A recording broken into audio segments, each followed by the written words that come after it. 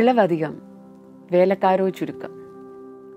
ഈശോയുടെ വേല ചെയ്യാൻ ഈശോയുടെ സ്നേഹത്തിന് സാക്ഷ്യം വഹിക്കാൻ ഈശോ തിരഞ്ഞെടുക്കപ്പെട്ടവരാണ് പുരോഹിതന്മാർ. ഇരുപത്തിയഞ്ച് വർഷം ഈശോയ്ക്ക് വേണ്ടി സേവനം ചെയ്യുക ഈശോയ്ക്ക് വേണ്ടി ജീവിക്കുക. ശരിക്കും പറഞ്ഞാൽ ഈശോയ്ക്ക് വേണ്ടി സ്വന്തം ജീവിതം തന്നെ ഒഴിഞ്ഞു വെച്ചവരാണ് പുരോഹിതന്മാർ. അങ്ങനെയുള്ള ആ പുരോഹിതന്മാരുടെ ജീവിതത്തിലേക്ക് ഒരെത്തിനോട്ടം. ബിയാത്തൂസ്. ബിയാത്തൂസ് എന്ന ഈ പ്രോഗ്രാമിലേക്ക് ഇന്ന് നമ്മൾ സ്വാഗതം ചെയ്യുന്നു. Reverend father Shaji Parikkappally.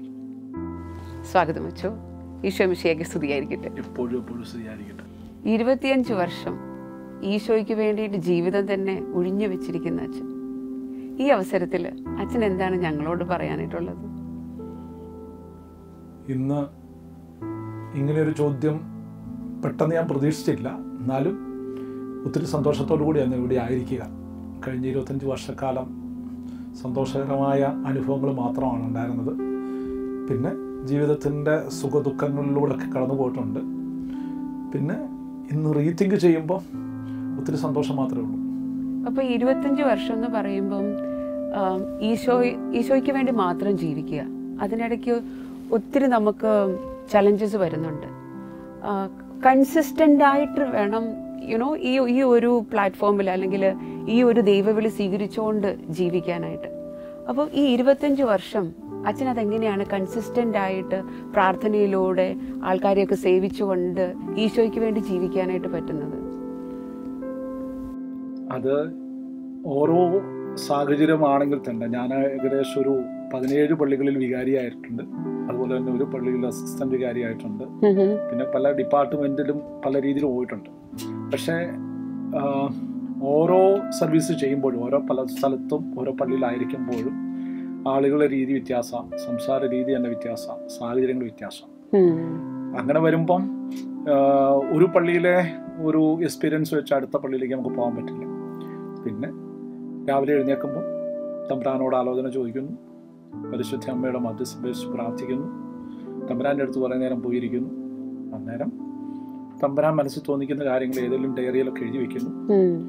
അന്ന് ചെയ്യേണ്ട കാര്യങ്ങൾ തമ്പുരാൻ തോന്നിക്കുന്ന രീതിയിൽ എഴുതി വെക്കുന്ന കാര്യങ്ങൾ പ്രാക്ടിക്കലാക്കാനായിട്ട് ശ്രമിക്കുന്നു.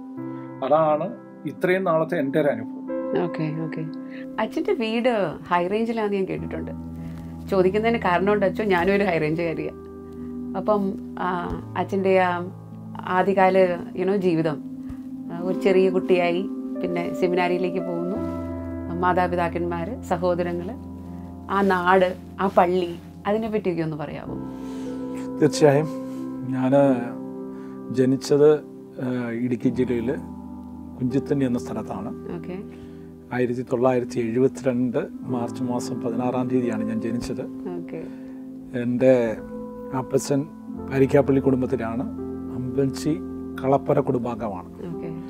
എനിക്ക് അഞ്ച് സഹോദരിമാരും ഒരു അനുജനുമാണ് ഉള്ളത്. ഞങ്ങൾ അങ്ങനെ ഒമ്പത് പേര്. അതിൽ എന്റെ മൂത്ത സഹോദരി ആരാധന മഠത്തിലെ സിസ്റ്ററാണ് സിസ്റ്റർ മെൽബി. അതുപോലെ എന്റെ താഴെയുള്ളത് അതും ഒരു സിസ്റ്ററാണ് sister Jane Mary. Nazareth convent ആണ് C S N con congregation എന്ന് പറയും congregation of sisters of Nazareth എന്ന കോൺഗ്രിഗേഷനിൽ പിന്നെ അനുജനും കുടുംബജീവിതം നയിക്കുന്നു. ആദ്യത്തെ മൂന്ന് പെങ്ങന്മാരും കെട്ടി കല്യാണം കഴിഞ്ഞു. അവർ അടുത്തതൊക്കെ താമസിക്കുന്നു. പള്ളി കുഞ്ചിത്തണ്ണി തിരുക്കുടുംബ ദേവാലയം. Okay okay. അപ്പം അച്ഛൻ ചെറുപ്പകാലം തൊട്ടിങ്ങനെ എല്ലാ ദിവസവും പള്ളിയിൽ പോവുക കാറ്റഗിസം അങ്ങനെ അതിലൊക്കെ കൂടുതലായിട്ടും അച്ഛൻ ഒത്തിരി അസോസിയേറ്റ് ചെയ്യുമായിരുന്നു. അച്ഛൻ എങ്ങനെയാണ് ഇങ്ങനെ ഒരു വൈദികനാകാനായിട്ട് തോന്നുകയൊക്കെ ചെയ്തത്? ഞാൻ നാലാം ക്ലാസ് മുതൽ ഓൾട്ടർ ബോയ് ആയിരുന്നു. ആ, സമയത്തെ എന്റെ വികാരിയച്ഛൻ ജോർജ് വള്ളംകുന്നലച്ഛനായിരുന്നു. ആ സമയത്തും കാറ്റഗിസം പഠിക്കുന്ന ആ സമയത്തൊക്കെ ഒരു ഓൾട്ടർ ബോയ് ആയിരിക്കുക എന്നുള്ള ഒരു ബാക്ക്ഗ്രൗണ്ട് അല്ലെങ്കിൽ അന്ന് ഓൾട്ടർ ബോയ് ആയതുകൊണ്ട് ഓരോരോ കാര്യങ്ങൾ ഇപ്പം ഞാൻ അച്ഛനായിട്ട് ഇപ്പം നിങ്ങളുടെ മുമ്പിലൊക്കെ വരികയോ അല്ലെങ്കിൽ ഓരോ കാര്യങ്ങളൊക്കെ ചെയ്യാനായിട്ട് എന്റെ ഏറ്റവും ബേസിക് ആയിട്ട് നിന്നത് അന്നത്തെ ഒരു ഫോർമേഷൻ തന്നെയാണ്. എല്ലാവരുടെ മുമ്പിൽ വെച്ച് കാറോസ് ചെല്ലാനും എല്ലാ ദിവസവും വന്ന് സിസ്റ്റേഴ്സിനെ അത് വായിച്ചു കേൾപ്പിക്കാനും ലേഖനമൊക്കെ ആണെങ്കിൽ അച്ഛനെ വായിച്ചു കേൾപ്പിക്കാനും അക്ഷര സ്ഫു- സ്ഫുടതയോടെ അതൊക്കെ സംസാരിക്കാനും ഒക്കെ ഉള്ളൊരു ഫോർമേഷൻ ആയിരുന്നു അത്. പിന്നെ ഒക്കേഷൻ എന്നുള്ള രീതിയിൽ ചിന്തിക്കുമ്പം ഞാൻ പറഞ്ഞല്ലോ വള്ളംകുന്നലച്ഛനാണ് അച്ഛനാണ് എന്റെ ആ ബേസിക് ആയിട്ടുള്ള കാര്യങ്ങൾ എന്റെ ഉള്ളിന്റെ ഉള്ളിലെ ഇങ്ങനെ ഒരു ഒക്കേഷൻ തിരിച്ചറിഞ്ഞത്. അത് കഴിഞ്ഞ് വന്ന ജോസ് മോനിപ്പള്ളി അച്ഛൻ. അച്ഛനും ഒത്തിരി സഹായിച്ചിട്ടുണ്ട്. പിന്നെ ഞാൻ നാലാം ക്ലാസ് മുതൽ എന്നെ കമ്മ്യൂണിന് ഒരുക്കിയ സിസ്റ്റർ ഒരു sister Seena S A B S ആ സിസ്റ്റർ തന്നെയാണ് എന്റെ ഒമ്പതാം ക്ലാസ്സിലെ കാറ്റീസൺ ടീച്ചറും അങ്ങനെ ആദ്യമായിട്ട് പ്രസംഗം പറയാനായിട്ട് ഒരു ആഗസ്റ്റ് മാസം പതിനഞ്ചാം തീയതി പരിശുദ്ധ കന്യകാമറിയത്തിന്റെ ഒരു തിരുനാളിന്റെ ദിവസം എനിക്കൊരു പ്രസംഗമൊക്കെ എഴുതി തന്ന് ഇനി ഉറക്കെ വായിച്ച് പഠിച്ചിട്ട് വരണം എന്നൊക്കെ പറഞ്ഞു. അതാണ് എന്റെ ആതിഥ്യ അനുഭവം. അന്ന് ഇടവക്കാർ മുഴുവൻ ഉണ്ടായിരുന്നു. അങ്ങനെയാകുമ്പം ഒരു മൈക്കൊക്കെ തന്ന് മൈക്കിന്റെ മുമ്പിൽ പടം പഠിച്ച പറഞ്ഞ പ്രസംഗം ഒറ്റ ശ്വാസത്തിൽ ഭയങ്കര ഒച്ചയിലൊക്കെ പറഞ്ഞു. അങ്ങനെ എന്തോ ഒരു സംതിങ് എല്ലാവരും കൈയൊക്കെ അടിച്ച് നന്നായിട്ട് പറഞ്ഞെന്ന് പറഞ്ഞു. അതാണ് ഒരു ഒരു ഒരു ഇൻസ്പിറേഷൻ ആയിട്ടുള്ള പ്രസംഗം പറയാനും അങ്ങനെയൊക്കെയുള്ളൊരു കാര്യങ്ങളിൽ വന്നത്. പിന്നെ ആ ഒരു ടാലന്റ് എനിക്കുണ്ട് എന്നുള്ള രീതിയിൽ തിരിച്ചറിയുകയും പിന്നെ ഏത് പ്രോഗ്രാം വരുവാണെങ്കിലും അല്ലെങ്കിൽ പള്ളിയുടെ എന്തെങ്കിലും രീതിയിലൊക്കെ വരുവാണെങ്കിലും പിന്നെ പത്താം ക്ലാസ് പഠിച്ചിരുന്നപ്പോൾ സ്കൂൾ ലീഡറായിരുന്നു അങ്ങനെ ആ രീതിയിൽ വന്നു കഴിഞ്ഞ സമയത്ത് പിന്നെ ഒക്കേഷനെ കുറിച്ച് അന്നേരം ഒന്നും ഒരു ചിന്തയൊന്നും വന്നില്ല. ഒക്കേഷനെ കുറിച്ച് ചിന്തിക്കുമ്പോൾ ഒരു രസകരമായ സംഭവമാണ് അതിനകത്തുള്ളത്. എല്ലാവർക്കും കിട്ടിയ ഒരു ഒക്കേഷൻ പോലെയല്ല എന്റെ ഒക്കേഷൻ അത് എന്റെ കൂടെ പത്താം ക്ലാസ്സിലുള്ള ആളുകൾ ഒരു ദിവസം ഞാൻ നോക്കിയപ്പോൾ ഓൾട്ടർ ബോയ്സ് എല്ലാം അച്ഛന്റെ മുമ്പിൽ റൂമിൽ വന്നിരിക്കുന്നു. അങ്ങനെ ഞാനും ഇടയ്ക്ക് അങ്ങ് ചെന്നു. അങ്ങനെ ആകുമ്പം വിചാരിച്ചും പെട്ടെന്ന് ചോദിച്ചു നീ പോകുന്നുണ്ടോടാന്ന് ചോദിച്ചു. ഞാൻ പണ്ടെന്ന് പറഞ്ഞാൽ പിക്നിക്കോ അല്ലെങ്കിൽ വല്ല എങ്ങനെയൊക്കെയുള്ള കാര്യങ്ങളായിരിക്കും. ഉണ്ടാച്ചാന്ന് പറഞ്ഞു. എന്നാൽ ഇവിടെ ഒരു സൈൻ ചെയ്യാൻ പറഞ്ഞു. ഓക്കെ അങ്ങനെ ഞാൻ സൈൻ ചെയ്തു. സൈൻ ചെയ്ത് കഴിഞ്ഞ് ഒരു രണ്ടാഴ്ച കഴിഞ്ഞപ്പം പെട്ടെന്ന് എന്റെ വെല്ലുമിച്ച് അപ്പന്റെ അമ്മ വീടിന്റെ തൊട്ടടുത്താണ് താമസിക്കുന്നത് ഒരു ദിവസം ഞായറാഴ്ച കുർബാന കഴിഞ്ഞ് വലിയ സന്തോഷത്തോടെ ഒരു ലെറ്ററും പിടിച്ചിട്ടുണ്ട് ഞങ്ങൾ വീട്ടിലിരിക്കുന്ന സമയത്ത് അമ്മ ചോടി വന്നു. അമ്മയോട് ചോദിച്ചു നീ അറിഞ്ഞില്ലേ? നിന്റെ മകൻ അച്ഛനാകാൻ പോവാ. അല്ലെങ്കിൽ ഒരു ലെറ്റർ വന്നിരിക്കുന്നു. നമ്മളോടൊന്നും പറഞ്ഞാതെ കൊണ്ട് അവൻ വികാരിച്ചനോട് പറഞ്ഞിട്ട് കാര്യം ചെയ്ത. അങ്ങനെ ഒരു രീതിയിലാണ്. അതാണ് ഒരു പെട്ടെന്ന് ഞാനും വിചാരിച്ചില്ല ഇങ്ങനെയുള്ളൊരു കാര്യങ്ങളാണ്. അച്ഛനും അറിഞ്ഞത് അച്ഛൻ അച്ഛനാകാൻ പോവാന്ന്. അച്ഛനാകാൻ പോവാ. പിന്നെ പത്താം ക്ലാസ് ഞാൻ സ്കൂൾ ലീഡറായിരുന്ന ആ സമയത്ത് തന്നെ നല്ല സ്വഭാവമൊന്നും അല്ലായിരുന്നു. രണ്ടു മൂന്ന് പ്രാവശ്യമൊക്കെ എന്നെ സ്കൂളിൽ നിന്നൊക്കെ സസ്പെൻഡ് ചെയ്യുന്ന രീതിയിലൊക്കെ വന്നിട്ടുണ്ടായിരുന്നു.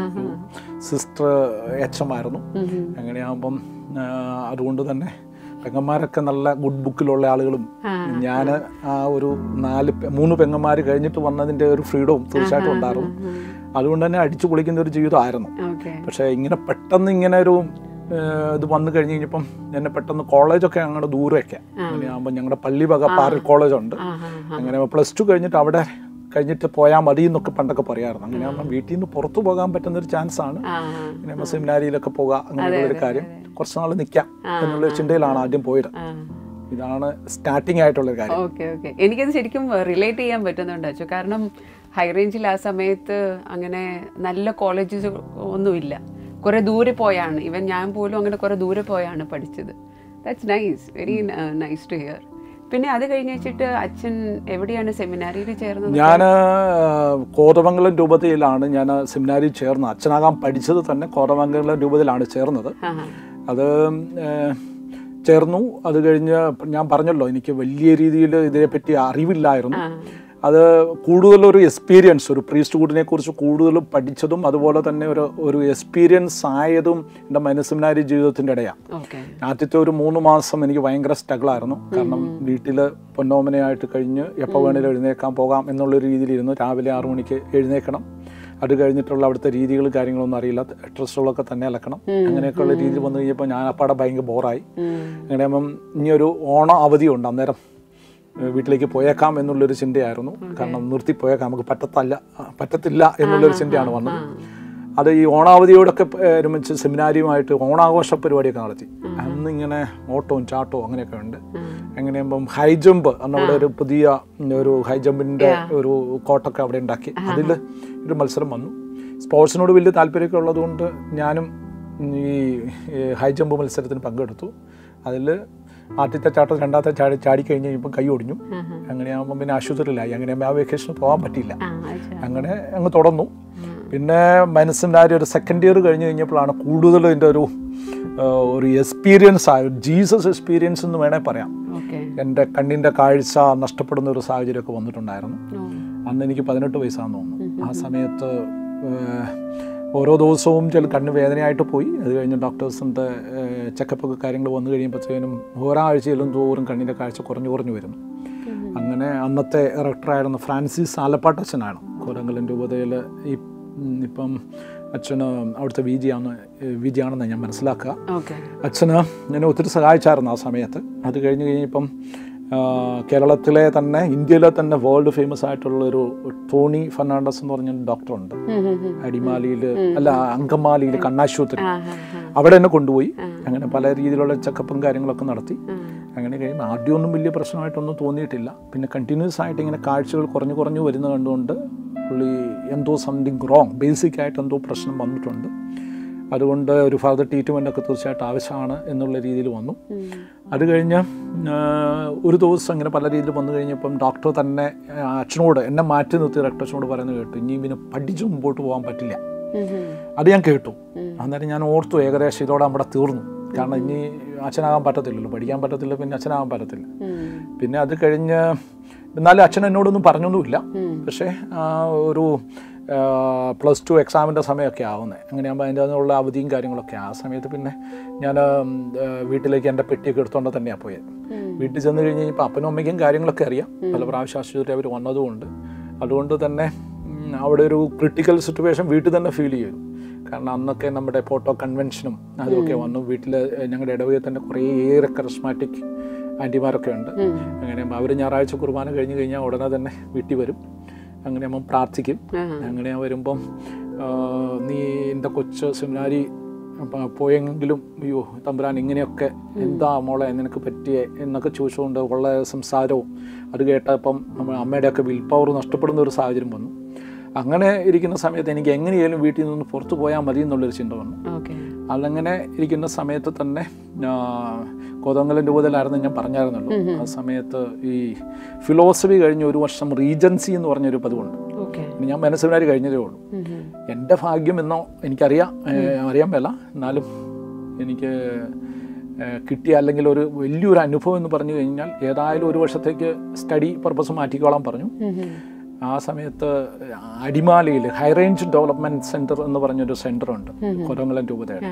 അങ്ങനെയാകുമ്പം ആ സമയത്ത് ഫിലോസഫി കഴിഞ്ഞ ആ ബാച്ചിലുള്ള എല്ലാ ചമാശന്മാരും സ്റ്റഡി ഉപയോഗിച്ച് പോയി. റീജൻസിന്റെ കുറവാണ്. അങ്ങനെ വന്നു കഴിഞ്ഞപ്പം റെക്ടച്ചൻ എന്റെ പേര് റെക്കമെൻഡ് ചെയ്ത് ആ. ആ ഹൗസിൽ ഒരാൾ വേണം. അങ്ങനെയാകുമ്പോൾ മൈനസ് സെമിനാരി കഴിഞ്ഞ് കഴിഞ്ഞാൽ ഉടനെ തന്നെ എനിക്ക് റീജൻസി കിട്ടി. അത് കഴിഞ്ഞിട്ട് വേണ്ട എന്നുള്ള രീതി അങ്ങനെ അച്ഛനും എന്നെ ഒത്തിരി സഹായിച്ചിട്ടുണ്ട്. ഒരു മുരിങ്ങമറ്റം അച്ഛനാണ്.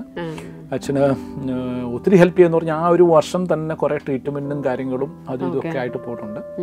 പിന്നെ ഓരോ ട്രീറ്റ്മെന്റിലും അച്ഛനും കൂടെ വരുമായിരുന്നു പിന്നെ അപ്പനും അമ്മയും ആ സമയത്തൊക്കെ ഉള്ള എന്റെ കണ്ണ് എങ്ങനെയെങ്കിലും ഒന്ന് രക്ഷപ്പെടുത്തണം എന്നുള്ള രീതിയിൽ അച്ഛനായില്ലെങ്കിലും കണ്ണിന് കാഴ്ചയില്ലാത്തൊരു മകൻ എന്നുള്ള രീതിയിൽ അവർക്ക് കഴിക്കാൻ പറ്റുന്ന പല രീതിയിലൊക്കെയുള്ള സാഹചര്യം വന്നു. അങ്ങനെയാണ് എന്റെ അപ്പനും അമ്മയും ആദ്യമായിട്ട് ഒരു റിട്രീറ്റ് കൂടുന്ന ഒരു ഹെറിസ്മാറ്റിക് റിട്രീറ്റ് അത് ഞാനും കൂടെ പോയി അറ്റൻഡ് ചെയ്തു.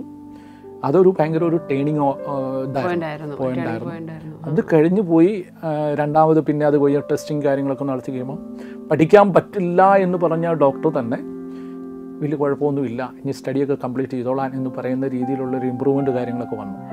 അങ്ങനെ വരുമ്പം ആദ്യം എനിക്ക് ഒക്കേഷന്റെതായ രീതിയിൽ ഞാൻ ചിന്തിച്ചിട്ട് പോലുമില്ല. രണ്ടാമത് കൈ ഒടിഞ്ഞ സാഹചര്യത്തിൽ എന്നെ വീട്ടിൽ വിട്ടില്ല.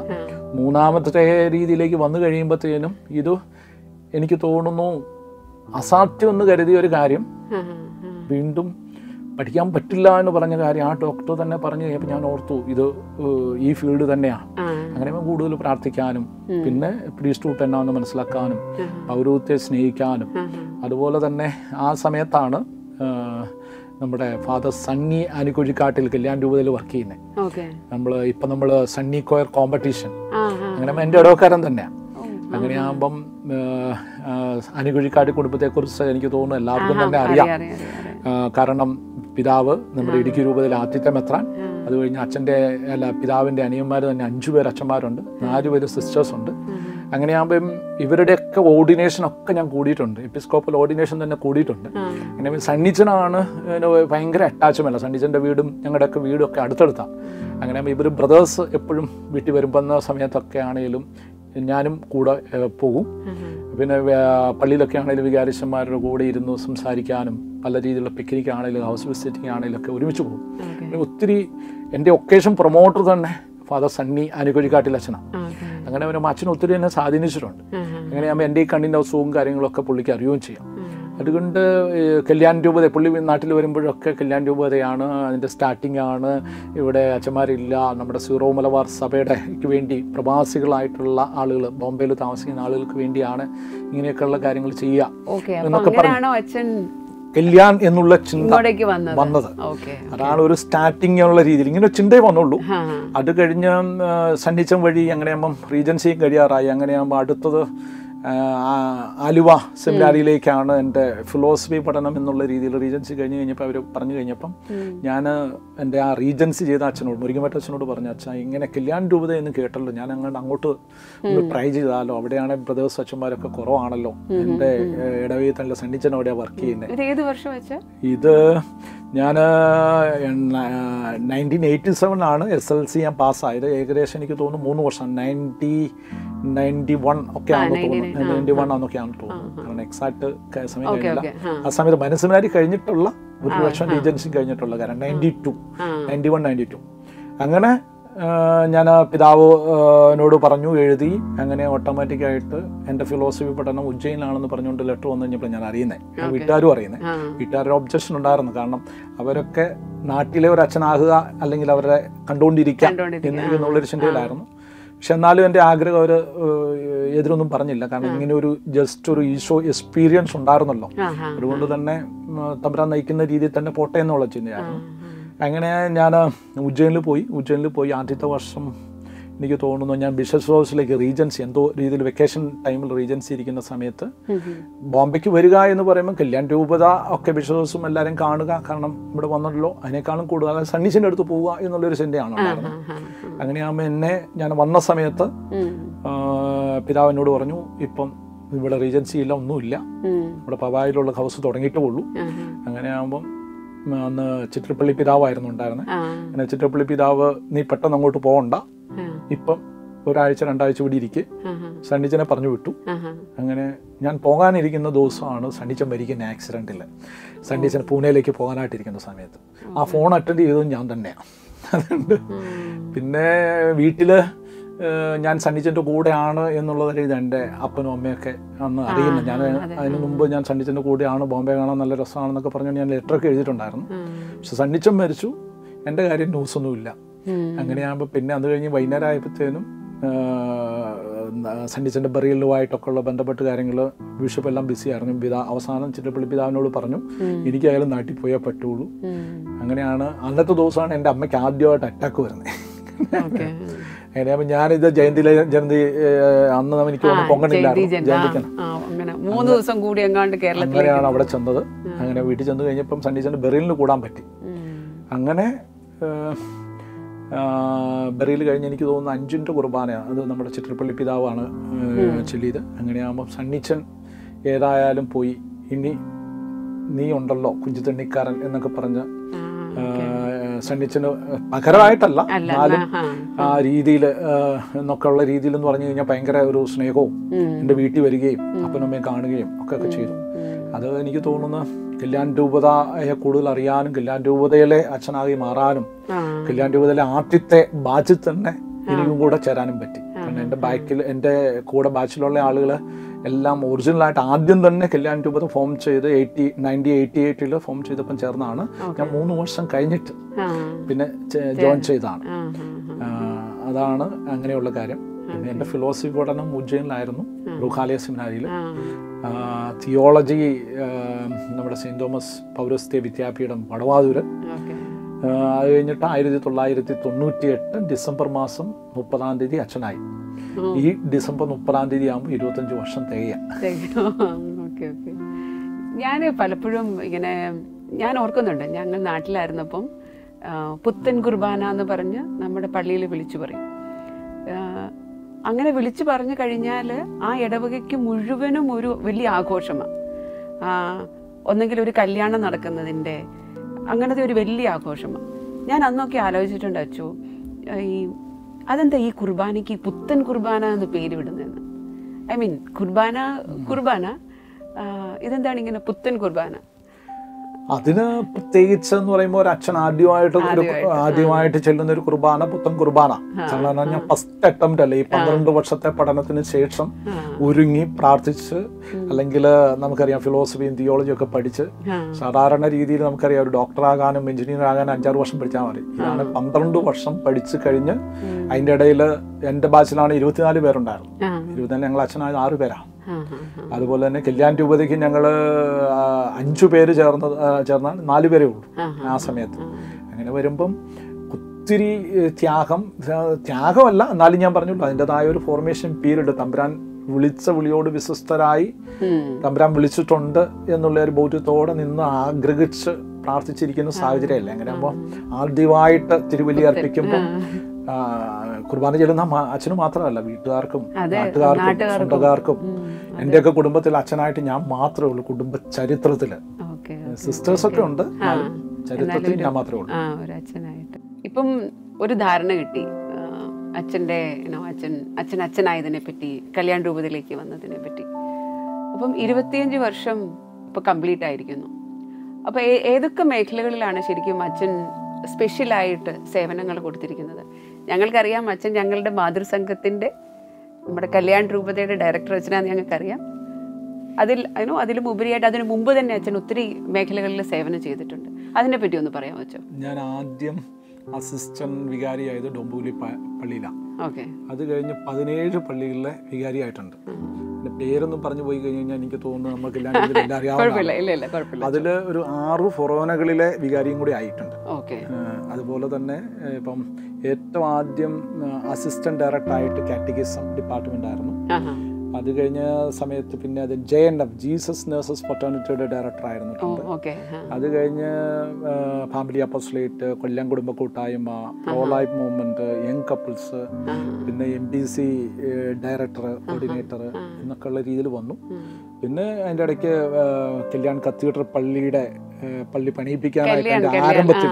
ആരംഭത്തിൽ കത്തീഡ്രൽ പള്ളി വികാരി എന്നുള്ള രീതിയിൽ അതിന് ഇരുപത്തിമൂന്ന് വർഷം തടസ്സമായിരുന്നു അത് പണിയാനായിട്ട്. പിന്നെ എന്റെ ആരംഭകാലത്തിൽ കല്ലിട്ട് അതിന്റെ ഒരു സ്കെൽട്ടൺ ഉണ്ടാക്കിയ സാഹചര്യം തീർച്ചയായിട്ടും തമ്പുരാൻ കൃപ തന്ന ഒരു സാഹചര്യം അത് കഴിഞ്ഞിട്ടാണ് ഞാൻ റോമിൽ പോയത്. അപ്പം അങ്ങനെ ഉപരിപഠനത്തിന് വേണ്ടിയിട്ട് അങ്ങനെ പുറത്തേക്ക് പോയിട്ടുണ്ടായിരുന്നു. ആ ഞാൻ കത്തീഡ്രപ്പള്ളി പണി പണിച്ചുകൊണ്ടിരുന്ന സമയത്താണ് അങ്ങനെയുള്ള ഒരു രീതിയിൽ വന്നത്. രണ്ട് ഫാമിലി അപ്പോസിലായിട്ട് ജോൺ പോൾ ഇൻസ്റ്റിറ്റ്യൂട്ടിലാണ് ഞാൻ പഠിച്ചത് റോമിൽ യൂണിവേഴ്സിറ്റിയിൽ അത്രൈൻസ എന്ന യൂണിവേഴ്സിറ്റിയിൽ ജോൺ പോൾ ഇൻസ്റ്റിറ്റ്യൂട്ട് എന്ന് പറഞ്ഞ അതിനകത്ത് തന്നെ ആ യൂണിവേഴ്സിറ്റിയിൽ ഒരു സെഷൻ ഉണ്ട്. പ്രത്യേകിച്ച് ഫാമിലിയെ കുറിച്ച് പഠിക്കാനായിട്ടാണ്. ആ പഠനം കഴിഞ്ഞിട്ടാണ് ഞാൻ ഇവിടെ വന്നു കഴിഞ്ഞപ്പം ഫാമിലി അപ്പോസിലെ ഡയറക്ടറായിട്ട് പിതാവിനെ അപ്പോയിന്റ് ചെയ്തത്. ഓക്കെ. അപ്പോൾ കാറ്റഗിസം മാതൃസംഘം ഫാമിലി അപ്പോസ്റ്റലേറ്റ് ഇങ്ങനെ ഇങ്ങനെ കുറേ മേഖലകളിൽ അച്ഛൻ പ്രവർത്തിച്ചു. ഇതിൽ ഏറ്റവും കൂടുതൽ അച്ഛന് ശരിക്കും ഒരു സന്തോഷം തോന്നിയത് അല്ലെങ്കിൽ ആ ഒരു കംപ്ലീറ്റ് സാറ്റിസ്ഫാക്ഷൻ തോന്നിയത് ഒരു സെൻസ് ഓഫ് കംപ്ലീഷൻ തോന്നിയത് ഏത് മേഖലകളിൽ ഏത് മേഖലയിലായിരുന്നപ്പോഴായിരുന്നു അച്ഛോ ഉം. അങ്ങനെ ഒരു പ്രത്യേക ഒരു മേഖല എന്ന് പറഞ്ഞു കഴിഞ്ഞു കഴിഞ്ഞാൽ എടുത്തു പറയാൻ പറ്റും. ഞാൻ പറഞ്ഞു കഴിഞ്ഞു കഴിഞ്ഞാൽ അത് എനിക്ക് എല്ലാവരും ഇഷ്ടമാണ്. പക്ഷെ ഓരോ ഞാൻ ആദ്യം ഒന്ന് സൂചിപ്പിച്ചിരുന്നു. കാരണം ഓരോ സ്ഥലത്തും ഓരോ രീതിയാണ് കാരണം ഇപ്പം ഞാൻ നഴ്സസിന്റെ ഡയറക്ടർ ആയിരുന്നപ്പോൾ നഴ്സുമാർ മാത്രമേ ഉണ്ടായിരുന്നു പിന്നെ ഇടവികാരി ആയിരുന്നു കഴിഞ്ഞ് കഴിയുമ്പോഴത്തേനും പാരിഷ് കൗൺസിലും കാര്യങ്ങളൊക്കെ ആയി. അങ്ങനെയാകുമ്പോൾ പിന്നെ ഇപ്പം മാതൃസംഘത്തിന്റെ അമ്മമാര് മാത്രമാണ്. അതുപോലെ തന്നെ ഫാമിലി അപ്പോസിലേറ്റ് ഡയറക്ടർ ആയിരുന്ന സമയത്ത് എന്ന് പറഞ്ഞു കഴിഞ്ഞാൽ എല്ലാ ഫാമിലിയുമായി ബന്ധപ്പെട്ട് ആർക്കിൽ ഇപ്പം നമുക്ക് പാസ്റ്റർ സെന്ററിലൊക്കെ വന്നു. അതിന് മുമ്പ് തൊട്ട് തുടങ്ങിയതാണ് എന്നാലും പല മേഖലകളാണ്. ഓരോന്നിന്റെയും പാസ്റ്റർ ഫീൽഡ് വേറെയാണ്. അങ്ങനെ ആകുമ്പോൾ അതിന്റെ സന്തോഷങ്ങളുണ്ട് അതിന്റെ ദുഃഖങ്ങളുണ്ട്. പിന്നെ ഞാൻ നേരത്തെ സൂചിപ്പിച്ചിരുന്നല്ലോ ഇപ്പോൾ ഒരു സാഹചര്യം ഇപ്പൊ നമ്മൾ ഒരു അച്ഛനായി അല്ലെങ്കിൽ ഒരു ഡയറക്ടറായി അതുമായിട്ട് ബന്ധപ്പെട്ട ഏതെങ്കിലും ഒരു തീരുമാനം എടുക്കണോ അല്ലെങ്കിൽ അതിന്റെതായ റെസ്പോൺസിബിലിറ്റി എന്താണെന്ന് നമ്മൾ ചിന്തിക്കുന്ന സമയത്ത് തന്നെ. പോയി തമ്പുരാന്റെ അടുത്ത് കുറെ നേരം പോയിരിക്കും അങ്ങനെ ആവുമ്പോൾ അന്നേരം അച്ഛന് തോന്നും. ആ സമയത്ത് തമ്പുരാൻ കൺസൾട്ട് വിത്ത് ഗോഡ് എന്ന് പറയില്ലേ? ആലോചിച്ച് വിളിക്കും എന്നൊക്കെ കാര്യം ചെയ്യണം. അങ്ങനെയാകുമ്പോൾ ഒരു ഡയറിയും ഉണ്ടായിരിക്കും. അന്ന് പോകുന്നത് മൊബൈലൊന്നും ഇല്ലായിരുന്നു ആരംഭകാലത്തിൽ. മനസ്സിൽ തോന്നുന്ന കാര്യങ്ങളൊക്കെ അന്നേരം അവിടെ എഴുതി വെക്കും. അപ്പൊ എല്ലാ മേഖലകളിലും അച്ഛന് ഒരു നല്ലൊരു സാറ്റിസ്ഫാക്ഷൻ എല്ലാം നല്ല പാഷനേറ്റ് ആയിട്ട് അച്ഛൻ അങ്ങ് ചെയ്തു എന്നുള്ള ഒരു സംതൃപ്തി എന്നല്ല കണ്ടന്റ്മെന്റ് എന്നൊക്കെ പറയും. സാധാരണ രീതി ഇപ്പം തിരിഞ്ഞു നോക്കുന്ന ഇരുപത്തഞ്ച് വർഷം ഇന്റർവ്യൂ ഉണ്ടെന്നൊക്കെ പറഞ്ഞു കഴിഞ്ഞപ്പം ഞാൻ അച്ഛൻ കുറെ ക്വസ്റ്റിനെയർ ഒക്കെ തന്നു കഴിഞ്ഞപ്പം അതിനെ പറ്റിയൊക്കെ ചിന്തിച്ചു കഴിഞ്ഞപ്പം അയ്യോ ഇതൊക്കെ ചെയ്തു. ഇതൊക്കെ ചെയ്തു. ഒത്തിരി കൃപ തന്നിട്ടുണ്ടല്ലോ എന്നൊക്കെ ഉള്ള ഒരു ചിന്ത തന്നിട്ടുണ്ട്. അതാണ് എന്റെ ഉള്ളിലെ ഒരു സംതൃപ്തി എന്ന് പറയുന്നത് ഒരു സാറ്റിസ്ഫാക്ഷൻ എന്ന് പറയുന്നത്. പിന്നെ ഇപ്പം ആയിരിക്കുന്ന ഇരുപത്തഞ്ച് വർഷം ഇങ്ങനെ ചിന്തിക്കുമ്പോൾ ഞാൻ ബോറിവിലി ആയിരിക്കുമ്പം എനിക്ക് തോന്നുന്നു ഏറ്റവും കൂടുതൽ സന്തോഷം തരുന്നത് ഇപ്പം ബോറിവിലിക്കാരാണ്. അതുപോലെ തന്നെ മാതസംഘ അതുപോലെ തന്നെ മാതസംഘ. കാരണം എന്റെ അപ്പനും അമ്മയും മരിച്ചുപോയി. പക്ഷെ എന്നാലും ഇപ്പൊ ഏഴായിരത്തോളം അമ്മമാരുണ്ടെന്നാ പറയുന്നത് ഇവിടെ ചെന്നാലും ഞങ്ങളുടെ അച്ഛൻ ഞങ്ങളുടെ അച്ഛൻ എന്നൊക്കെ പറയുമ്പം ഇവിടെയുള്ള എല്ലാ അമ്മമാരും എന്റെ അമ്മമാരാണെന്നുള്ളൊരു ചിന്ത വരുമ്പം അപ്പനും അമ്മയും മരിച്ചുപോയി എന്നുള്ളൊരു ചിന്ത പോലും വരുന്നില്ല. പിന്നെ ഇപ്പൊ ബോർവില്ലി ഞാൻ പറഞ്ഞല്ലോ ഇപ്പൊ നമ്മൾ ഇരുപത്തഞ്ച് വർഷം ജൂബിലി ആഘോഷിക്കുന്നതുകൊണ്ടാകാം കാരണം ഇത്രമാത്രം അച്ഛനെ അച്ഛന്മാരെ സ്നേഹിക്കുന്ന. വിശ്വാസമുള്ള കുറെ നല്ല എഡ്യൂക്കേറ്റഡ് ആയിട്ടുള്ള ഏത് സമയം നമ്മളെ സപ്പോർട്ട് ചെയ്യുന്ന കാരണം അങ്ങനെയൊക്കെയുള്ള ഒരു പാരിഷ് എന്ന് പറയുമ്പോൾ ഇപ്പം ഞാൻ എനിക്ക് അങ്ങനെ ഫീൽ ചെയ്യുക. അതുകൊണ്ട് ഏറ്റവും കൂടുതൽ ഇപ്പോൾ സന്തോഷം തരുന്ന ഒരു മേഖല എന്നാന്ന് പറഞ്ഞാൽ ഇപ്പം ബോർവില്ലി. ഒരു പാരിഷ് ഓക്കെ അച്ചു രണ്ടായിരത്തി ഇരുപതിൽ കൊറോണ എന്ന് പറഞ്ഞ ആ ഒരു ശരിക്കും പറഞ്ഞാൽ അതൊരു പ്രതിഭാസം വന്ന വന്നു. പക്ഷെ അതിൽ ഒത്തിരി നല്ല കാര്യങ്ങൾ സംഭവിച്ചിട്ടുണ്ട്. എസ്പെഷ്യലി നം സഭയിൽ. ഒത്തിരി യൂട്യൂബ് ചാനൽസ് അച്ഛന്മാരുടെ സന്ദേശങ്ങൾ സിസ്റ്റേഴ്സിന്റെ സന്ദേശങ്ങൾ ഒക്കെ അത് മാത്രമല്ല ഒത്തിരി സാധാരണപ്പെട്ട ആൾക്കാർ പോലും ഒരു ഒരു മൊബൈൽ എങ്ങനെയാണ് യൂസ് ചെയ്യേണ്ടത്? അല്ലെങ്കിൽ യൂട്യൂബ് എങ്ങനെ യൂസ് ചെയ്യണം? സോഷ്യൽ മീഡിയ എങ്ങനെ യൂസ് ചെയ്യണം? അങ്ങനെയുള്ള കുറേ എഡ്യൂക്കേഷനും ഈ കൊറോണ എന്ന് പറഞ്ഞ ആ ഒരു പ്രതിഭാസം കൊണ്ടുവന്നിട്ടുണ്ട്. അപ്പോൾ അങ്ങനെയുള്ളൊരു സമയങ്ങളിൽ ഞാൻ ശരിക്കും ഒബ്സർവ് ചെയ്ത് എന്താണെന്ന് വെച്ചാൽ ഒത്തിരി കാര്യങ്ങൾ ബൈബിളിനെ പറ്റിയാണെങ്കിലും ജീവിതത്തെ പറ്റിയാണെങ്കിലും കുർബാനയെ പറ്റിയാണെങ്കിലും ക്രിസ്തീയ ജീവിതത്തിനെ പറ്റിയൊക്കെ അറിയാനായിട്ട് ഒത്തിരി പറ്റി. കാരണം എല്ലാ അച്ഛന്മാരും യൂട്യൂബിനെയൊക്കെ ശരിക്കും അതിനെ അതിനെ ശരിക്കും ചാനലൈസ് ചെയ്ത് യൂ യൂസ് ചെയ്യുന്നുണ്ട്.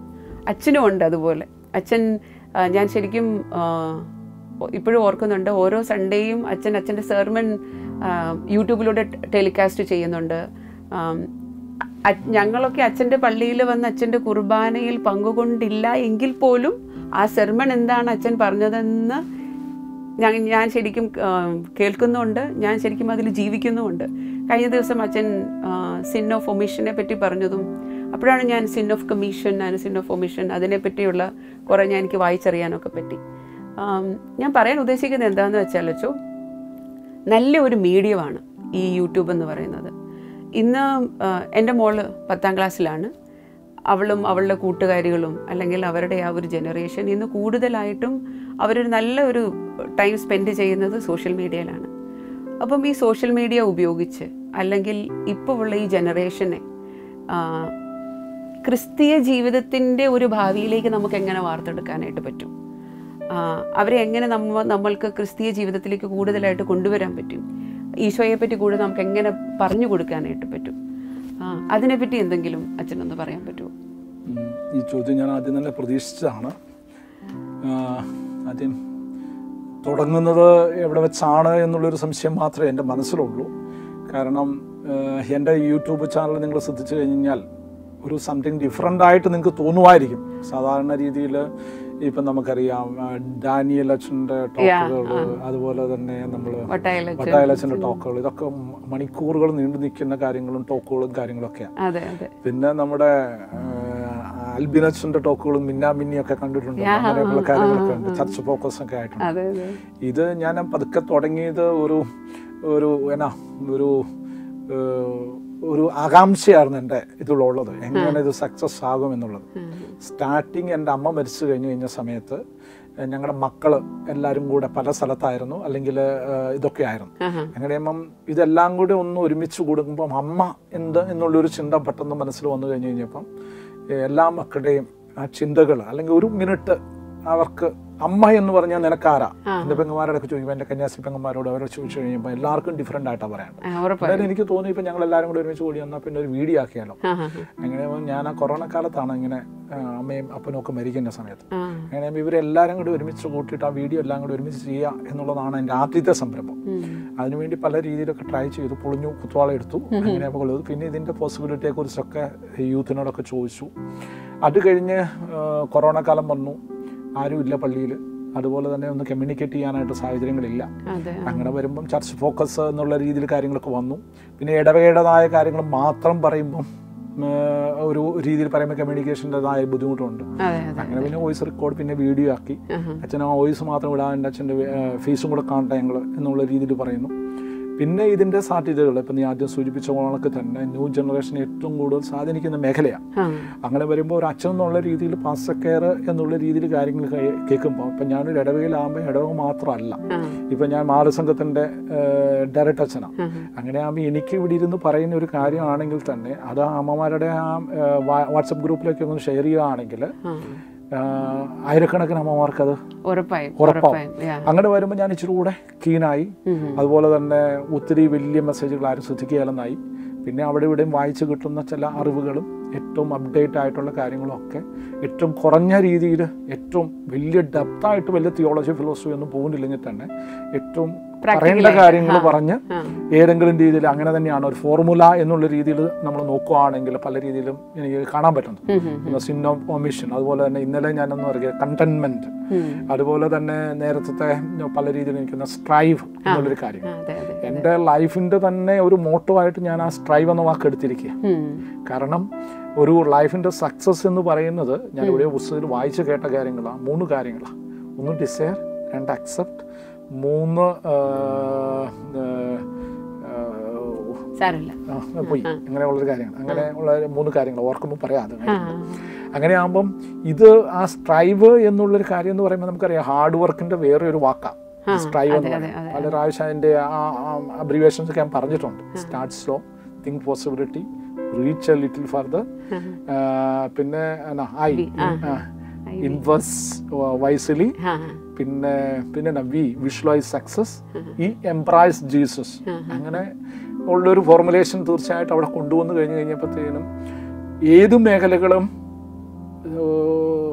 നമ്മൾ സക്സസ് ആക്കാനായിട്ടുള്ള ഒരു ശ്രമമാണ് എന്റെ പിന്നിൽ. അതിൽ നമുക്ക് തന്നെ എല്ലാവർക്കും അറിയാം. Hard work equal to success നമ്മൾ പറയുന്നുണ്ട്. നയന്റി നയൻ പെർസെന്റ് ഹാർഡ് വർക്കാണ് വൺ പെർസെന്റേജ് ലെക്കുള്ളൂ ഒരു അച്ഛന്റെ ജീവിതത്തിലാണെങ്കിലും നിങ്ങളുടെയൊക്കെ ജീവിതത്തിലാണെങ്കിലും ഇത് സത്യമാണെന്നറിയാം. ആ ഒരു ചിന്ത മനസ്സിൽ വന്നതുകൊണ്ടാണ് ഇന്നത്തെ മീഡിയയും അതുപോലെ തന്നെ ബാക്കിയുള്ള കാര്യങ്ങളൊക്കെ നമുക്ക് യൂട്ടിലൈസ് ചെയ്താൽ പറ്റുമല്ലോ ഇപ്പൊ ഇപ്പം ഞാൻ ജൂബിലി ആഘോഷിക്കുന്ന അച്ഛനാണ് അങ്ങനെയാകുമ്പം ഞാനും അപ്ഡേറ്റ് ചെയ്തിട്ടില്ലെങ്കിൽ ഓട്ടോമാറ്റിക്കായിട്ടും എന്റെ മേഖലകളിൽ ഞാൻ വിട്ടുപോകും. അതുപോലെ തന്നെ കൂടുതൽ ഹൈലി മോസ്റ്റ് മോഡേൺ അല്ലെങ്കിൽ മെട്രോപൊളിറ്റൻ സിറ്റിയിൽ ഞാൻ ജീവിക്കുന്ന സാഹചര്യത്തിൽ അതിന്റെതായ രീതിയിലുള്ള അപ്ഡേഷനും. തീർച്ചയായിട്ടും വേണം. പിന്നെ ആളുകളുടെ ചിന്താഗതി എല്ലാവർക്കും തിരക്കാണ്. ടൈമില്ല. അവരിപ്പോൾ നമ്മൾ പള്ളി വരുന്ന സമയത്ത് മാത്രമല്ല പിന്നെ ആണെങ്കിലും കേൾക്കാൻ പറ്റുള്ളൂ ഉം. എങ്ങനെ ഇതൊരു ഇൻസ്പിറേഷൻ കണക്ക് വന്നത് വീണ്ടും വീണ്ടും ചെയ്യണമെന്നുള്ള ചിന്ത വന്നു കഴിഞ്ഞപ്പോൾ ഒന്ന് രണ്ട് പേരെ ജീവിതത്തിലേക്ക് തിരിച്ചു കൊണ്ടുവരാൻ എന്റെ കുഞ്ഞു വീഡിയോക്കൊക്കെ സഹായിച്ചു. അതാണ് എന്റെ ഏറ്റവും വലിയൊരു കാര്യമായിട്ട് തോന്നിയത്. അതുകൊണ്ടാണ് എനിക്ക് കൂടുതൽ ഒരു ഇൻസ്പിറേഷനും രീതിയും. എന്റെ വീട്ടുകാർക്കാണെങ്കിലും എന്റെ സൗണ്ട് ഒന്ന് കേൾക്കാൻ പറ്റും. കാര്യങ്ങൾ ഒത്തിരി ദൂരെയല്ല. ഉറ്റവർക്കും ഉടയവർക്കും കൂടെ ഒരു യൂട്യൂബ്. പിന്നെ എപ്പോഴും ഒരു അപ്ഡേഷൻ എപ്പോഴും നടത്തും. അല്ലെങ്കിൽ പിന്നെ കഴിഞ്ഞ ഞായറാഴ്ചത്തെ പ്രസംഗം പോലെ അങ്ങ് പറയുമല്ലോ. ഇങ്ങനെ ഓരോ കാര്യങ്ങൾ വായിക്കണ്ട എന്നുള്ള രീതി വരും. അങ്ങനെ പുതിയ അപ്ഡേഷൻ ആയിട്ടുള്ള ന്യൂസുകളും കാര്യങ്ങളൊക്കെ വായിക്കാനും അതനുസരിച്ച് ഒരു പാസ്റ്റൽ കെയർ ചെയ്യാനും നമുക്ക് പറ്റുന്നു. ഇരുപത്തിയഞ്ച് വർഷം ഇങ്ങനെ സേവനമൊക്കെ ചെയ്തു വരുന്നു ചെയ്തുകൊണ്ടിരിക്കുന്നു. ഇനിയും അതുപോലെ തന്നെ അച്ഛനും നല്ല ആക്റ്റീവായിട്ട് നല്ല പാഷനേറ്റ് ആയിട്ട് മുന്നോട്ട് പോകണമെന്നാണ് ഞങ്ങളുടെ ഒക്കെ ആഗ്രഹം. ഈ ഒരു അവസരത്തിൽ ഇപ്പോൾ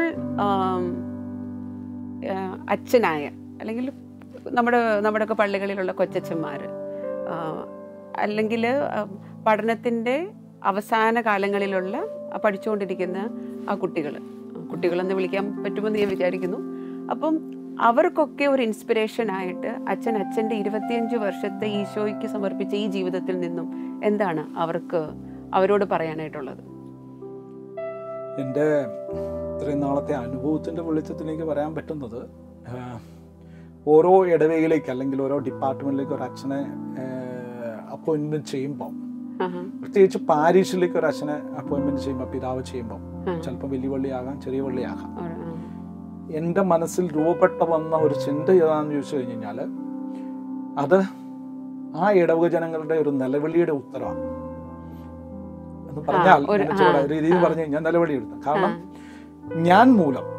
അല്ലെങ്കിൽ ഞാനിപ്പോൾ ഇടവകയുടെ വികാരിയാണെങ്കിൽ തമ്പുരാൻ ഞാൻ മൂലം ചില കുടുംബങ്ങളെയും ചില വ്യക്തിപരമായ ആളുകളെയും ഒക്കെ രക്ഷിക്കാനായിട്ട് എന്നെ ഒരു ഉപകരണമായിട്ട് വിട്ടിരിക്കുക. അത് എന്റെ അതുകൊണ്ടാണ് ഒരു മൂന്ന് വർഷം കഴിയുമ്പം ഞങ്ങളെയൊക്കെ സ്ഥലം മാറ്റി വേറൊരു സ്ഥലത്തേക്ക് വിടുക. അങ്ങനെ വരുമ്പോൾ ആ ടൈം കഴിഞ്ഞു അതുപോലെ തന്നെ വേറെ അച്ഛനോട് വന്നു അന്നേരം അച്ഛന് വേറൊരു പാസ്റ്റർ വർക്കായിരിക്കും അവിടെയുള്ളത്. അങ്ങനെ ഒരു ചിന്ത മനസ്സിലേക്ക് നമ്മൾ കൂട്ടിക്കൊണ്ട് വരികയാണെങ്കിൽ കാരണം ദൈവത്തിന്റെ സ്വപ്നം ഓരോ അച്ഛന്മാരും. ഇപ്പൊ. കുട്ടിത്തണ്ണിയിൽ അങ്ങേ മൂല കിടന്ന് എന്നെ അവിടുന്ന് വിളിച്ചുകൊണ്ട് വന്ന് ഇപ്പം ബോംബെ മെട്രോപൊളിറ്റൻ സിറ്റിയിൽ ഇട്ട് ഇപ്പൊ ഞാൻ അങ്ങോട്ടും ഇങ്ങോട്ടും ഒരു ഞാൻ പറഞ്ഞല്ലോ പതിനേഴ് പള്ളികളും അതുപോലെ തന്നെ ഡിപ്പാർട്ട്മെന്റിലൊക്കെ പോയിട്ടുണ്ടെങ്കിൽ തന്നെ. ഇത് തമ്പ്രാന്റെ ഒരു വിളിയാണ്. ഇപ്പം നമുക്കറിയാം ബൈബിളിൽ തന്നെ തമ്പ്രാൻ ഇപ്പൊ കണ്ടു വിളിച്ച ഒത്തിരി പേരുണ്ട് കാരണം അതെ നമുക്കറിയാം ജർമിയായ ജർമിയായുടെ വിളി നമ്മൾ ബൈബിൾ വാൾ വായിച്ചു കേട്ടതാ ദാവീദിന്റെ വിളി. ഏലീഷായുടെ വിളി ആ. ആ കലപ്പ പിടിക്കുന്ന ഏറ്റവും പുറകിൽ നിന്നവനെ വിളിച്ചോണ്ട് പോന്നെ. ഞങ്ങളൊക്കെ എന്ന് പറയുമ്പോൾ ഒരു പ്രത്യേകിച്ച രീതിയിൽ ആരും ശ്രദ്ധിക്കപ്പെടാത്ത ഇരുന്ന മേഖലയിൽ നിന്ന് വിളിച്ച് തമ്പുരാൻ തമ്പുരാൻ കണ്ട തമ്പുരാന്റെ കണ്ട സ്വപ്നമാണ് ഞങ്ങൾ ഓരോരുത്തർ അങ്ങനെയാകുമ്പോൾ ഈ ഒരു ചിന്ത ഓരോ അച്ഛന്മാരുടെ മനസ്സിലേക്ക് വരുവാണെങ്കിൽ. തീർച്ചയായിട്ടും അതൊരു വലിയൊരു ഇൻസ്പിറേഷനാണ് വന്നേക്കണേ. അതുകൊണ്ട് ആളുകളുടെ ഇപ്പം നമുക്കറിയാം ഓരോ അച്ഛനും എന്ന് പറയുമ്പോൾ അയക്കപ്പെട്ടവനാ. ഉം. അങ്ങനെ അങ്ങനെയാകുമ്പം ആളുകൾ എന്റെ അടുത്തോട്ട് വരട്ടെ എന്ന് വിചാരിക്കുന്ന കാര്യങ്ങളല്ല. കാരണം ആളുകളുടെ ഇടയിലേക്ക് ഇറങ്ങി ചെല്ലേണ്ടവനാണ് ഓരോ പുരോഹിതനും എന്നുള്ള രീതിയിൽ. അതുകൊണ്ട് ആ പുരോഹിതൻ അയക്കപ്പെട്ടവൻ എന്ന് പറയുക. ഇപ്പൊ സാധാരണ രീതിയിൽ ഇപ്പൊ ഓഫീസുണ്ട് സെറ്റപ്പ് ഉണ്ട് എല്ലാം ഉണ്ട്. അവർക്ക് എന്തെങ്കിലും പ്രശ്നങ്ങൾ വരട്ടെ. അങ്ങനെ അങ്ങനെയാകുമ്പോൾ ഇടവകയിലാണെങ്കിലും തന്നെ ഒരു പ്രശ്നം അല്ലെങ്കിൽ ഏതെങ്കിലും രീതിയിലുള്ള സാഹചര്യങ്ങളാണെങ്കിൽ തന്നെ അച്ഛൻ അങ്ങോട്ട് ചെന്ന് ചോദിക്കുമ്പോൾ എനിക്ക് തോന്നുന്നു അത് ഭയങ്കര ഒരു പാസ്റ്റൽ ഒരു പ്രൂഡൻസും ആണ് ആളുകൾ ഒരു അപ്പീൽ ഞങ്ങളുടെ അച്ഛൻ നമ്മുടെ അച്ഛൻ പിന്നെ ഇതിന്റെ എല്ലാം വേണമെങ്കിൽ ഒരു ഒരു ചിന്ത ഞാൻ എന്റെ മനസ്സിൽ സൂക്ഷിക്കുന്ന പലയിടത്തും ഞാൻ പറഞ്ഞിട്ടുള്ളൊരു കാര്യം എന്താണ്? കാരണം എന്നാന്ന് വെച്ച് കഴിഞ്ഞാൽ നിങ്ങൾ മാനേജ്മെന്റ് സ്റ്റഡീസും അതുപോലെ തന്നെ ഉപയോഗിക്കുന്ന കാര്യങ്ങൾ ഞാനൊന്ന് ഫോർമുലേറ്റ് ചെയ്ത് വെച്ചിരിക്കുന്ന ഒരു കാര്യം മൂന്ന് കാര്യങ്ങളാണ്. കൊച്ചച്ചന്മാരോട് എനിക്ക് പറയാനായിട്ടുള്ള ഒരു കാര്യം അതൊരു ഫോർമുലയായിട്ട് വെച്ചിരിക്കുന്ന കാര്യങ്ങൾ അക്സെപ്റ്റ് അഡ്ജസ്റ്റ് അപ്രീസിയേഷൻ. അത് ഈശോയുടെ തന്നെ ഒരു പാസ്റ്റർ വർക്കാർ ആ. അങ്ങനെയാകുമ്പോൾ നമുക്കറിയാം ഈശോയുടെ ഡിഗ്രി ഏതാന്ന് ചോദിച്ചു കഴിഞ്ഞാൽ ബി എസ് സി ഡിഗ്രി ആണെന്നാണ് പറയുന്നത് കാരണം B for bearing. S for sharing. C for caring. അത് ഇതുപോലെ തന്നെ അതേ രീതിയിലുള്ള വേറൊരു ഫോർമുലേഷൻ ആയി സാധനം. Accept adjust and appreciation. ഇപ്പൊ നമ്മളായിരിക്കുന്ന സാഹചര്യങ്ങൾ നമ്മളൊന്ന് അക്സെപ്റ്റ് ചെയ്യും എല്ലാം ഓക്കെ ആയി. പിന്നെ അഡ്ജസ്റ്റ് ചെയ്യാനേ ഉള്ളൂ. ഇതിപ്പം കുടുംബജീവിതത്തിലാണേലും അച്ഛന്മാരുടെ ജീവിതത്തിലാണെങ്കിലും പിന്നെ അപ്രീസിയേഷൻ നമുക്കൊരു കുഞ്ഞു കാര്യമാണേലും നമ്മുടെ എല്ലാവരുടെയും ഉള്ളിൽ ഒരു ചെറിയൊരു അപ്രീസിയേഷൻ ആഗ്രഹിക്കുന്നുണ്ട്. അങ്ങനെ ഞാൻ അത് ചെയ്തു കഴിഞ്ഞ് കഴിഞ്ഞാൽ എനിക്ക് തോന്നുന്നു വളരെ ഈസി ആയിട്ട് നമ്മളെ തമ്പുരാൻ ഉപയോഗിക്കുന്ന രീതിയൊക്കെ തീർച്ചയായിട്ടും പറ്റും. എപ്പോഴും സന്തോഷത്തോടെ ആയിരിക്കാൻ പറ്റും. സന്തോഷമല്ല ആനന്ദത്തോടെ ആയിരിക്കാൻ പറ്റും. അതാണ് എനിക്ക് പറയാനായിട്ടുള്ളത്. അതുകൊണ്ട് കൊച്ചന്മാരൊക്കെ അക്സെപ്റ്റ് ചെയ്യുക അഡ്ജസ്റ്റ് ചെയ്യുക. നമ്മൾ അവരെ അപ്രീഷിയേറ്റ് ചെയ്യുക. അച്ഛന്റെ ഇരുപത്തിയഞ്ച് വർഷത്തെ ഈ വിശ്വാസ ജീവിതത്തിൽ കൂടെയുള്ള അച്ഛന്റെ ഈ ജേർണിയെ പറ്റി ഞങ്ങൾക്ക് എല്ലാവർക്കും പറഞ്ഞു തന്ന അച്ഛന് ഒത്തിരി ഒത്തിരി നന്ദി. ഇനിയും അച്ഛൻ ഇതുപോലെയുള്ള അവസരങ്ങൾ ഉണ്ടാകട്ടെ എന്ന് പ്രാർത്ഥിക്കുന്നു. ഇനിയും നല്ല രീതിയിൽ ഇതുപോലെ തന്നെ കൂടുതൽ പാഷനേറ്റായി അച്ഛന്റെ എല്ലാവിധ അസ്പിരേഷൻസും അംബീഷൻസും എല്ലാം ഇടവക ജനങ്ങളിലേക്കും കല്യാൺ രൂപതയിലേക്കും എത്തട്ടെ എന്നും ആശംസിക്കുന്നു. താങ്ക് യു കേട്ടോ ഈശോ തെരഞ്ഞെടുത്ത് ഈശോയ്ക്ക് വേണ്ടി ഇരുപത്തിയഞ്ച് വർഷം സേവനം ചെയ്ത് ജീവിക്കുന്ന നമ്മുടെ അച്ഛന്മാരെ ഇനിയും നമ്മൾക്ക് കാണാം. ബിയാത്തൂസ് എന്ന ഈ പ്ലാറ്റ്ഫോമിൽ കൂടെ. അടുത്ത എപ്പിസോഡിൽ നമുക്കിനിയും കാണാം. നമസ്കാരം.